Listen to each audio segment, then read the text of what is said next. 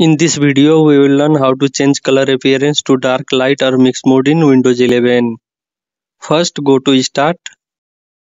Click on Settings. Click on Personalization.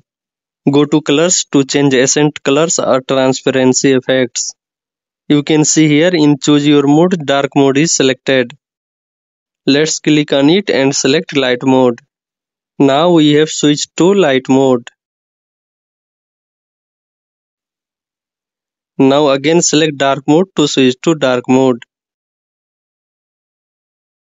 Click again and select custom mode. In custom mode we can select mode for Windows and apps separately. Let's select light mode for Windows. You can notice that taskbar has changed to light mode. Now select light mode for apps. Now our setting app and other apps has changed to light mode. In this way you can have different modes for Windows and apps whichever suits you. That's all subscribe channel like and share this video.